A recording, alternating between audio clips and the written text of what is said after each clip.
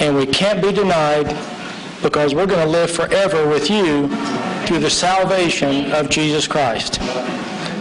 Lord, be with us today and provide us with your supreme guidance and wisdom as we conduct the business of Rowan County.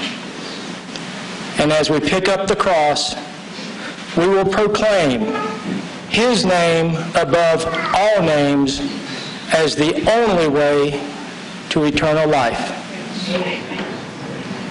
I ask this in the name of the King of Kings, the Lord of Lords, Jesus Christ.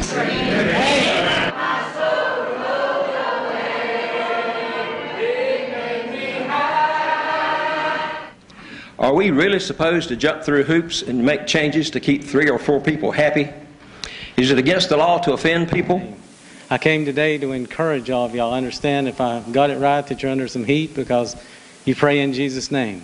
When you took your oath to serve our community, you pledged to represent the entire community, not just those with whom you agree. The words separation of church and state do not appear in any official government documents. Ladies and gentlemen, this country was founded on Christianity.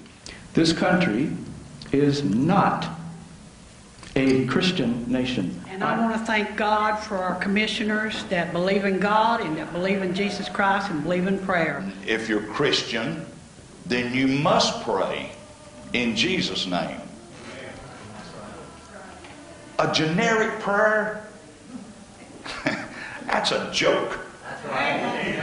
In the last 10 years, there's a serious disease that has taken our country, and it's called political correctness. Yeah, that's right. And I think uh, what's happening now in Rowan County is just an extension of that. John 3.16, For God so loved the world that he gave his only begotten Son. He gave his only begotten Son that whosoever believeth in him should not perish but have everlasting life. It's been suggested that these commissioners who pray in Jesus' name are forcing their religion on others. That is not the case. I am appalled that you would consider wasting government money and taxpayer dollars on a losing battle over public prayer. Three separate courts have said sectarian prayer, whether by you or people you invite, violates the Constitution. I heard the prayer today, uh, Commissioner Barber, and you know, I didn't hear what church you belong to. So apparently you weren't trying to establish a church or religion. You just mentioned Jesus.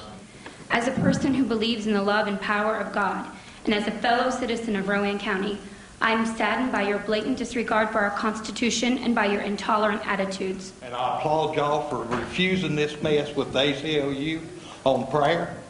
And because they, if they get it through y'all, they're going to be picking on us next. And I think it's going, it's going to have to stop here. I believe that it is truly freedom of religion and not freedom from religion. Wow. To you guys who turned out here to pray in the name of Jesus, I want you to know I do not feel excluded in any way, shape, or form. Uh, I come here often. I come here often. And you guys are the most inclusive group of people I have ever met. The ones that are exclusive are the secular humanist bigots who want to squelch every representation of religion.